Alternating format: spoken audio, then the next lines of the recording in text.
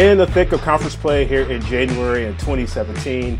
The MVC Hoop Shoot Around, sponsored by Purina, is rolling on. Derek Dockett here, alongside, as always, Adam Immenecker. Adam, fresh off from uh, seeing the Drake Bulldogs in action. We'll talk about them a little bit, but uh, how's your week been going so far? Uh, well, it's been busy. It's been a lot of exciting basketball Valley season. Everybody's got four games in the book now. Everything's uh, coming into full swing, so it's fun. Absolutely. Uh, let's start off with things right now. Right now, the Class of the Valley. Right now, two teams, four zero. Wichita State and Illinois State. We knew yeah. Wichita State going into season preseason pick. We know that story. Illinois State four yeah. 0 playing some really good basketball of late, uh, both the Shockers and the Redbirds. Yeah, we. I mean, we've highlighted players on each of those teams uh, in the in the past, Eric. But the the the easiest way to sum it up, both these teams have great athletes and they have great depth and that's what's allowed them to get to 4 0 in the conference play. They've just kind of overwhelmed their opponents throughout the course of that 40 minute game. So both Gregg Marshall and Dan Muller have to be happy with what they've seen from their groups. And one, guy to point out quick. MiKyle McIntosh, how about the game he had against Indiana State yesterday? We're recording this on a Sunday night.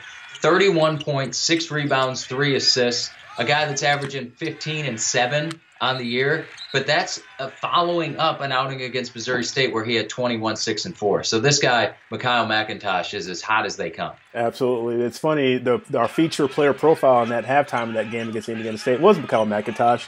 Yeah. And in that feature, it noted that uh, the Redbirds have a team drill where in the summertime, they all want to put up 10,000 shots or more. He actually got closer to the 20,000 shot wow. range over uh, in the in the summertime, is what Dan Muller said. So perhaps that paying off for the Redbirds. We'll see how they continue to go. Big matchups for the Redbirds going in this week with Southern Illinois and next weekend Wichita State. We'll see how that goes. Uh, another big individual performance, Milton Doyle for Loyola, stuffing yeah. the stat sheet against Bradley with a career high 35 points as well. Right. How often do you get two guys in the conference scoring 35 points on the same day? So Milton Doyle, you know, we've we've talked plenty about him, all everything type of guard, great athleticism, great length, especially at, from a, basically the point guard position.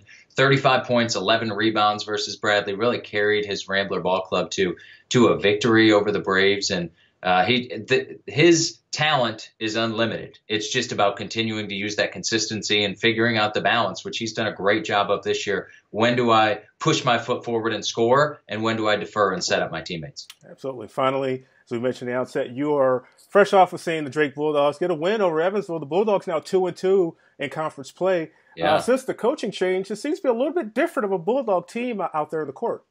Yeah, uh, how about a team that's one in ten at the beginning of this year, two and two and ten entering conference play, having a two and two record. I mean, not a lot of people expected this. The victory at home over Loyola, then the victory at home tonight over Evansville. So this team is really shooting the ball really, really well. They're playing defense a little bit better, but I think the difference, they're just making some of the little hustle plays. They're getting big rebounds when they need it. They're getting the loose ball. They're they're getting a held ball situation as opposed to losing it out to their opponent. And when you shoot it from three like they do, as I've talked to the the different coaching staffs who have made trips to Des Moines, like I mentioned, Loyola and Evansville, they both say you watch this team and on the bench they're having so much fun, they're so excited. They don't look or act like a two and ten ball club. And now they're getting a little better. They're sitting at four wins, four and twelve overall, and two and two in the league everyone knows when the when the Valley season starts, that's like a new season starting over. So Coach Jeff Rutter taking advantage of it.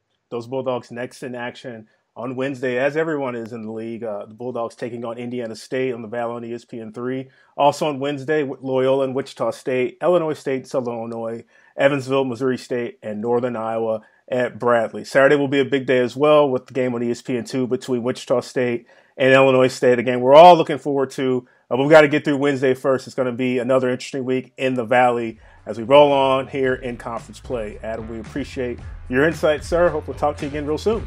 Yeah, sounds like another fun week. Looking forward to it. Thanks, Derek. This has been the MVC Hoop Shoot Around brought to you by Purina. We'll talk to you again soon.